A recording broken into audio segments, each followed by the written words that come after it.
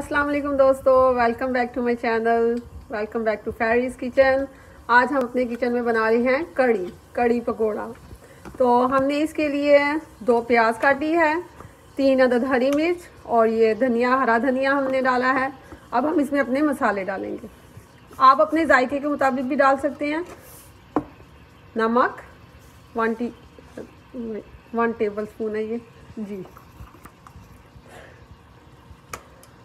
और इसमें अब जाएगा सफ़ेद ज़ीरा। One T one teaspoon अब हम इसमें डाल रहे हैं सूखा धनिया। Two teaspoon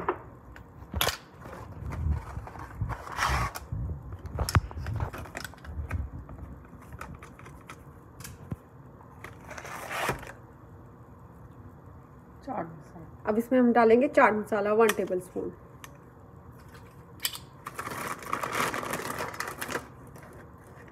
one tablespoon red chilli powder थोड़ा हाफ़ और डालेंगे। आप अपने जायके के मुताबिक डाल सकते हैं। अगर आपको स्पाइसी खानी है तो आप ज़रा और ऐड कर सकते हैं नमक, मिर्च इसमें।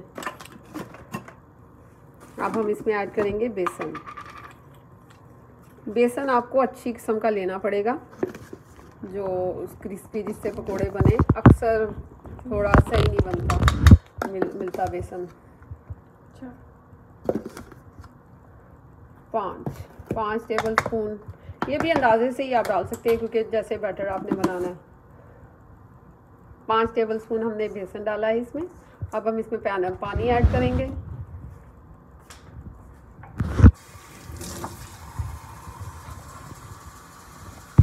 तो दोस्तों देखिए हमने पकोड़े का बैटर तैयार कर लिया। ना ज़्यादा थिक होना चाहिए ना ज़्यादा पतला थोड़ा नरम सा होना चाहिए। इससे पकोड़े बहुत नरम और अच्छे बनते हैं सॉफ्ट बनते हैं। और ये हमने बड़ी हली हरी मिर्चें ली हैं इसको हम कट लगा के इसमें ये भर के ये भी हम आ, मसाला भर के बेसन का ये फ्राई करेंगे इसके साथ। जी तो दोस्तों देखिए ये हमारा पकौड़ों का बैटर तैयार हो चुका है। अब आपको दिखाते हैं कि ये थोड़ा पतला सा है। इससे पकौड़े बहुत सॉफ्ट बनते हैं। आइए हम इसको ऑयल में डालते हैं। इसमें बेकिंग सोडा डालने की ज़रूरत नहीं, उससे फिर और गैस पैदा होती है। ये थोड़ा हम नरम रखते हैं और पतला रखते हैं। और पकौड़े बहुत सॉफ्ट बनते हैं, आप ट्राई ज़रूर कीजिएगा। आइए हम पकौड़े ऑयल में डालते हैं। बिस्मिल्लाह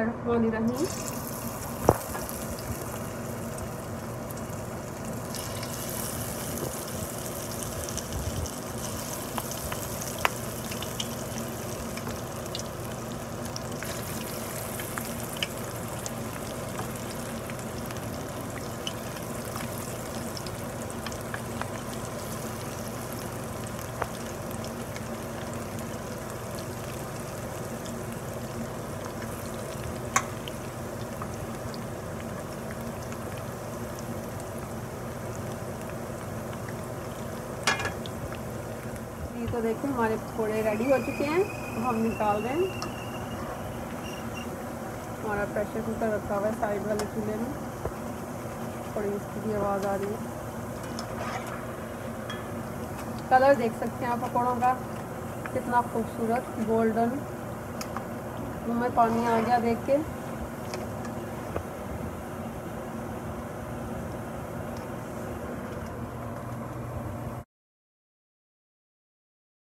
जी, इससे पहले मैं थोड़ा आपको बताना भूल गई। तीन बड़े चम्मच, तीन से चार बड़े चम्मच जो हांडी में हम डालते हैं, दही के, वो डालने हैं ब्लेंडर में। और दो बड़े चम्मच हांडी के, बेसन भर के, इसमें डाल के तीन बड़े कप पानी का डाल के अच्छी तरह इसको ब्लेंड कर लेना है इस मिक्सचर को। और फिर ये वो कड़ी का मिक्सचर तैयार हो जाएगा। ये हमने पैन में डाल लिया है अपनी देचकी में। दो चम्मच लहसन लहसन अदरक का पेस्ट फ्रेश हमने पीस के डाला है और ऑयल डाल दिया है इसमें हमने। अब बाकी के मसाले ऐड करेंगे।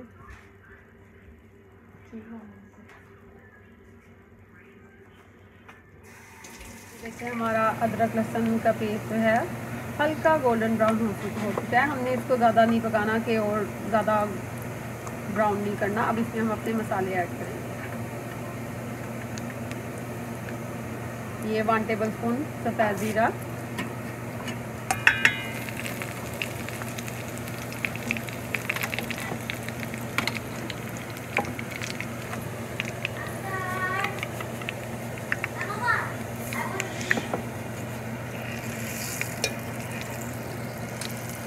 वन टेबल स्पून नमक वन टेबल स्पून पाउडर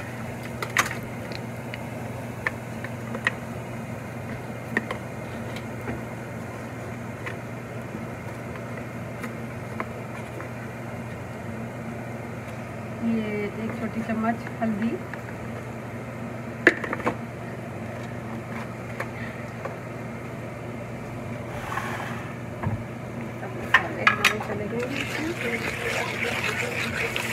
अब हम अपना दही और बेसन का बैटर ऐड कर दिया हमने।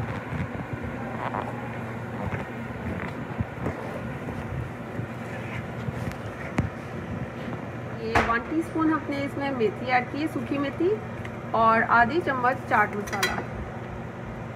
अब हम इसको पकने के लिए रख देंगे। थोड़ी मीडियम आँच पे एक उबाल आ जाएगा, फिर हम इसको हल्की आँच पे रख देंगे। देखिए, हमने इसमें दो कप और पानी डाला है, क्योंकि वो बैटर हमारा ज़रा थिक था। अब ये हमने पतला कर दिया है।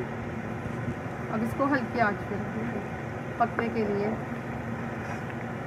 इंशाल्लाह हाफ़ एन आवर में हमारी कड़ी तैयार हो जाएगी। बहुत ही लजीज, जायकेदार। ट्राई ज़रूर कीजिएगा ये हमारी रेसिपी ये देखिए, हमने इसमें पानी और ऐड किया था, क्योंकि गाढ़ी थी ज़रा। अब ये पक पक के ऐसी हो रही है। इसका कलर ऐसा हो गया। अभी और इसमें मज़ीद पकाएँगे हम। कलर आप देख सकते हैं, पहले कैसा था और अब कैसा हो गया पकने के बाद। अभी और पकेगी ये देखिए कड़ी हमारी तैयार हो चुकी है। बहुत ही जायकेदार कलर, देखिए इतना कितना खूबसूरत अब इसमें पकोड़े ऐड कर रहे हैं।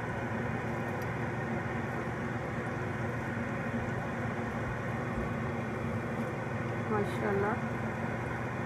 बहुत लजीज तरीन ये तरीका है कड़ी बनाने का। बहुत अच्छी और यूनिक रेसिपी है ये कड़ी बनाने की। ट्राई ज़रूर कीजिएगा। इन बहुत पसंद आएगी आपको ये रेसिपी